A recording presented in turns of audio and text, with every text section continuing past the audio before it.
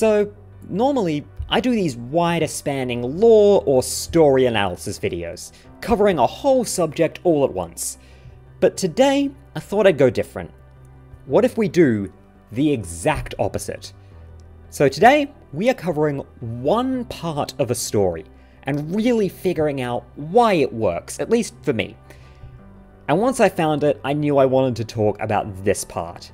The one singular part of Hildibrand that genuinely made me laugh. Two quick disclaimers. First, spoiler warning for Endwalker Hildibrand. It's best to be up to date elsewhere, but that's all you need. Second, an opinion warning, because I have them. And I'm about to say some things about one of the most polarizing stories in the game, so get ready.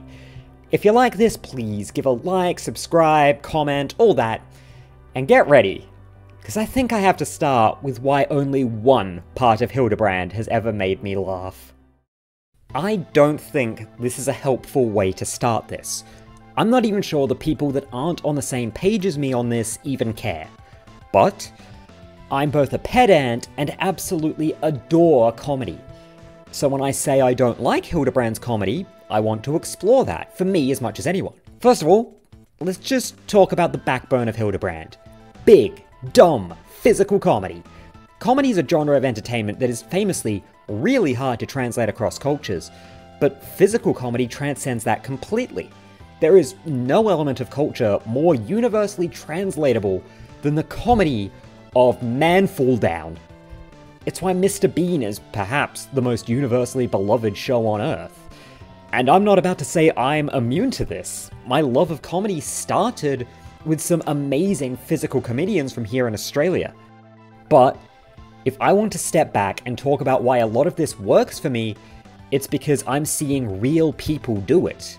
A lot of physical comedy is essentially stunt work, and a lot of the enjoyment comes from seeing real people doing this insane stuff. It's why Jackie Chan was so focused on doing his own stunts and selling it as believable, because it's so much more engaging when you can see the real human within it. The comedy of Jackass comes in large part from the fact these are real people hitting themselves with all this nonsense. Even in more low-key stuff, this holds. Even if Mr. Bean's not doing some absurd pratfall and is just taking a test or doing laundry, it carries because Rowan Atkinson's reactions are both recognizably human and cartoonish as hell. Turning Mr. Bean into a cartoon didn't distill his comedy to me, it robbed him of an important dimension. Comedy in an animated medium just doesn't have that dimension that works so well for me. That's not to say animated media can't do physical comedy, but it's missing the main tool that works for me. It's got to find some substitutes, and it's got to make them good. And for me, that's an uphill battle. But the stuff that most regularly manages it is like The Simpsons, which backs it up with rock solid writing to the point where it's not just physical comedy. So, what does Hildibrand back it up with? Well, here's where translation comes in. Man Fall Down translates. And honestly, I think a lot of the rest really doesn't. I've watched and played enough Japanese media to recognize that Hildibrand is packed to the gills with very Japanese jokes. And frankly, most of them just aren't very funny outside that context. Especially with a few cultural movements that have happened over recent years. That Lalafell Stalker, I don't know was ever funny, to be honest. But in a world where we're more culturally aware of sexual harassment, he's really not getting over the line. The multiple jokes about Hildibrand cross-dressing are absolutely not finding a warm audience in me as a trans person, but somehow I'm actually less offended at that than I am at them turning Ultros into a one-note sexual assault gag. Ultros was a multi-layered, multi-joke character in 6. The sexual assault angle was the smallest and the weakest.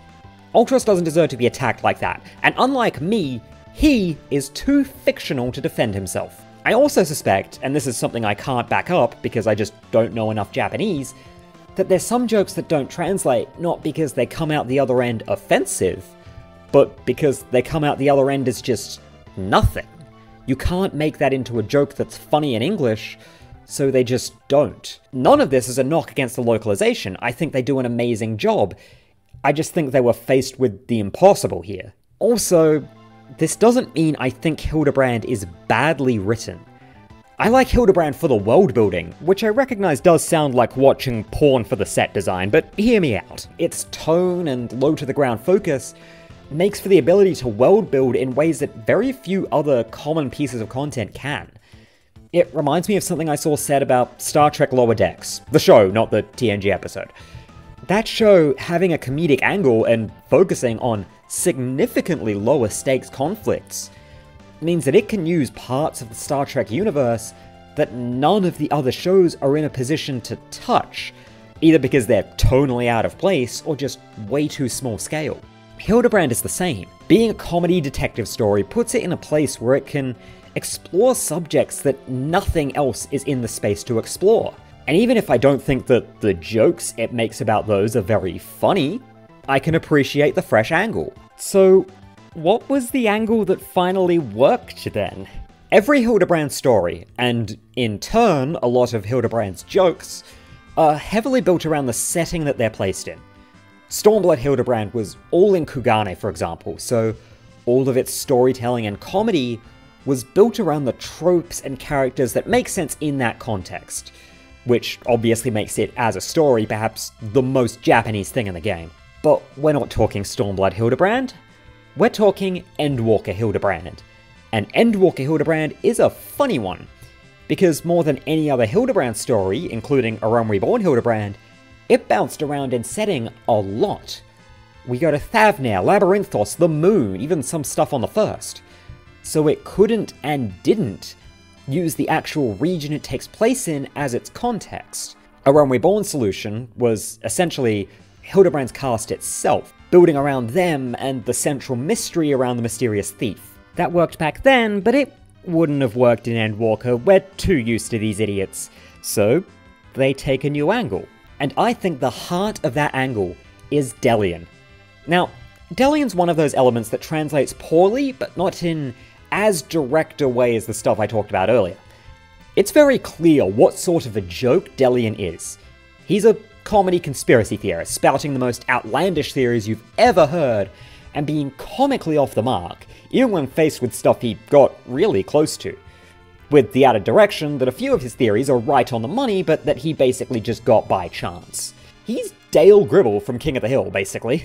But the thing about that sort of character, at least in the West, is that they've had a huge change in perception. In the Dale Gribble days, they were harmless whack jobs whose theories were basically perpendicular to any political reality. They might have intersected enough to involve a politician or major issue sometimes, but we're just sort of too far off in their own fantasy world to really matter. But these days, when the conspiracy theorist image is less Dale Gribble and more Alex Jones, it's kinda hard for me to take someone like Delian to be the kind of joke that they're telling. You can tell Alex Jones jokes, but they are a very different energy. I suspect Japan doesn't really have an InfoWars or OAN to poison that well, so Delian flies better there, but I'm not entirely sure. But whether this joke lands or not, he's the one that hammers in the actual tone and focus of the storyline. Rather than focus on the terrestrial realities of the setting, we're going higher. We're focusing on the weird shit, a lot of which Endwalker also played in. He also gets us actually thinking about the lore as part of the joke, as he's spouting both absurd nonsense and equally absurd actual truths. The storyline's more mundane investigations into a corrupt Thavnairian merchant and Dr. Lugae are essentially just pretense to get the more mundane focused Hildibrand and Nashu looking at this crazier shit and said crazier shit brings us the story's more irregular players the alien Pupu and the faulty clone Brandihild. And it's these two that provide more material connections to the story around them. Delian was just a tone setter. It's Pupu that gets us actually looking towards the stars in terms of subject matter. And Brandihild starts us asking physiological questions, albeit in his case, in the context of Godbert style jokes about his abilities, especially in relation to Hildibrand himself. Pupu's got his own story about finding his lost friend, but that's not really that important to us. What's important is a certain little thing his ongoing story uncovers an artifact from an ancient civilization. Yeah, you know where this is going by now. I feel like there's this clear divide between the community on this joke the people who recognize how good it is, and the people who can't even tell they're being told one. And I get it, because it's doing something that's extremely hard to pull off. Because the core of all of this is the game making an entirely straight faced, no winking joke about something the game itself does. On its surface, it's clear what we're looking at. Godbrand Manderville, ancestor of Hildibrand and Godbert, is telling his family secret. An ancient race of symbiotic aliens, the Mandervillians, were hit by what we recognize as the end of days, their entire society just collapsing under it. Two survivors escaped, making their way to what turned out to be the source. One of them is lost and mysterious, their position and condition unknown. The other found a sickly Ul'dahn man and fused with him, giving him great strength, durability, and knowledge of that symbiote. So it's kind of like a Superman or Goku thing crossed with, like, the Trill from Star Trek. There's some good comedy in its presentation, and I think that sort of distracts people from the real joke. They see that it's a whole symbolic lore dump told via a one man puppet show, leaning into both the jokes around his difficulty with that and impossible movements despite that. And naturally, afterwards, you've got the joke of the Mandervilles bawling their eyes out, contrasted with the stone faced Arkasodara who are not there for any clear reason. Again, I don't like most of the physical comedy, but this one I can recognize as pretty well structured. They're cute little extra comedy bits. That's not the main joke, because here's my read. This isn't any old lore dump. It's a parody of lore dumps. It's making fun of not just the presentation, but the content and response. The actual presentation is unique, but it's not too far unlike some of the more conceptual lore dumps. I think the closest cousin is probably the A Realm Reborn one describing the White Auracite plan, mixed with the conceits of Emet-Selch explaining how the Sundering works using the Crystal Tower's imaging. The music is exactly the same music that Endwalker itself likes using for its more info-dumpy scenes. Although granted, that's a bit hard to read for a joke, because, again, exactly how they do that seriously. The actual content, though, this is exactly something 14 does constantly, and something that they've been open about tying new stuff into older landmarks to sell the new turn. Ironically, Dynamis and the End of Days actually didn't get this to such an overt degree. This is much more like how the truth of Amaurot and its fall forced such a hefty revision of Hydaelyn in Shadowbringers. That this figure that you assumed was just a little bit sus now has that uncertainty answered, but in a way that completely throws off your expectations and raises just a whole bunch of new questions. There's even the classic moment of either this is a reused asset or we're meant to read something into this, as the symbiote puppet is pretty clearly a Coblin, which is a recurring Hildibrand joke. One that crops up, I think, in the same patch, in fact. It's all a pitch perfect imitation of the way these lore dumps usually go. Maybe too pitch perfect, in fact, because, again, a lot of people just take it as a normal lore dump, despite it being, you know, in Hildibrand. And then the reactions. Now, these I love because not only do you see reflections of how certain types of characters react to this sort of info, but I also think they reflect different ways that players do. First of all, the Mandervilles. High emotion, high buy in. They immediately accept all of this new reality and everything it means to them. This is how most of the Scions generally take this sort of news. I think most often Alphinaud hits this note, but G'raha's a strong recent bringer of it. Of course, that's also how most of the fan base responds to a lot of this. For the most part, if you give us a big reveal paired with emotionality, we will buy it as a player base. It's a huge part of Emet-Selch's appeal. Then we have Nashu, who's asking questions. She's not skeptical per se, she's running with this, but she's noticing things aren't lining up. Specifically, that this does not explain Julyan. In the Scions, this role is filled by basically whoever's got cause to raise an eyebrow at this for whatever reason. Most often it's Y'shtola or Urianger, and funnily enough, Nashu's ditzy butt ends up coming from the same direction. And in the community, it sort of reflects us. People like me and other lore dorks. Yes, we accept the premise we're being given, but we've got some questions. We're trying to see how this new information applies to everything before. You saw it with Dynamis, and you saw it with 6.x's Void stuff. And finally, Delian, the conspiracy theorist, he doesn't actually care. Immediately afterwards, he instead turns to the projector. In later scenes, he's damn near the straight man of it all. And that almost doesn't make sense for his character. Why does he suddenly not care about this? But then, you have to remember, he's a conspiracy theorist. If they actually cared about the mysteries that had evidence and mattered to their lives, they wouldn't be going on about aliens and underground government facilities. Now, conspiracy theorist isn't really a role in the Scions, but Delian kind of ends up taking Estinian's role from an entirely different direction. Just cut through all the high concept nonsense and focus on the real subject. Although with Delian, real might be in air quotes. And in the player base, look, I admit that this one is a reach and they probably didn't intend it, but also I think this one is fun, so I'm just gonna keep saying it. The Delians of the player base are the ones that absolutely ignore everything except for their pet theory. In Dawntrail speculation, they're the guys absolutely convinced Solution 9 is some sort of alien conspiracy, and that Arcadion is connected to the Asians. And as far as you can tell, they just haven't really noticed anything else in the pre-release. Or in a more classical example, Delian's the kind of guy who ignores the entire story to instead keep banging on about some 1.0 loose end like Silvertear Lake.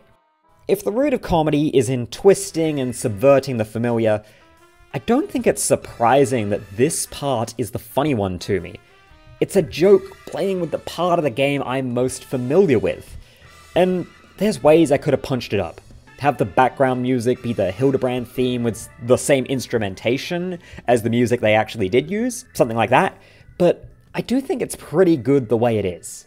But, like I said, it does kind of slip under the radar. What is there about this joke that even tells me it's a joke? Well, I think the final nail for that is the fact the joke's not done yet. The puppet show does come in the back end of the Endwalker Hildibrand story, but it's not the end end. There's still one patch left. The patch that gave us the Asura fight, the reveal of the villain's plan, and Pupu's friend named Pupu's friend, apparently. And first of all, a couple quick highlights of unrelated things to give this patch its due.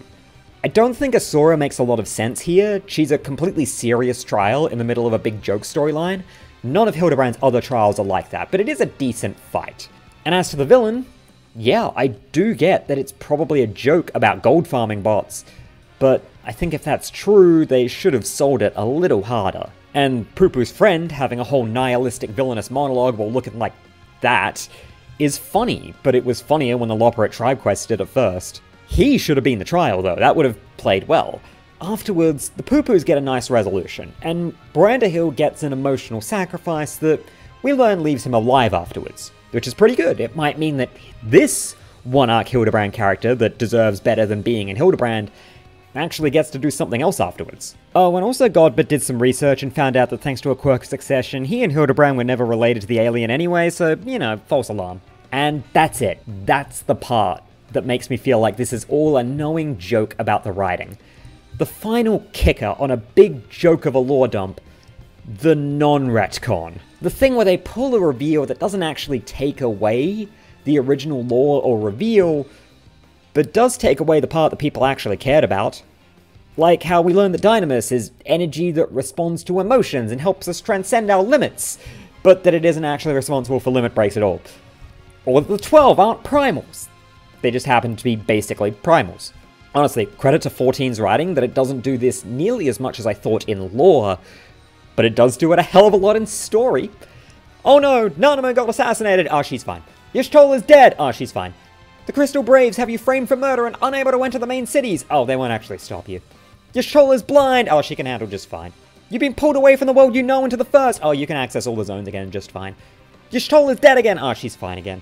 While again, the game's hardly as bad about this as some other media, and I think there's a lot of moments that aren't this, that people call this, you do constantly see this reset to zero that tries not to look like that. And in a section of the story that's making a whole thing about cracking jokes about lore and the game's world building, that's a perfect final beat to bring. The non-retcon, treated like the anticlimax it always is to us, and brought on by the sort of bare minimum fact-checking that we'd expect to defuse this. Yeah, we're back to zero, but at least it was funny. So there we have it. We dissected my favourite Hildibrand joke, so it's no longer funny. I want to do some of these lighter videos while we're revving up for Dawntrail. Let me take it a bit easier for now so I can hit the ground running when that launches. And there's a couple other story moments that I can already think of that'd be good fits for this sort of exploration. If you like this, please do YouTube things to help me out. I hope to see you all again real soon, and remember, just like Dale Gribble, Delian is the greatest trans ally on Etheirys. Just don't ask him why. Please don't ask him why.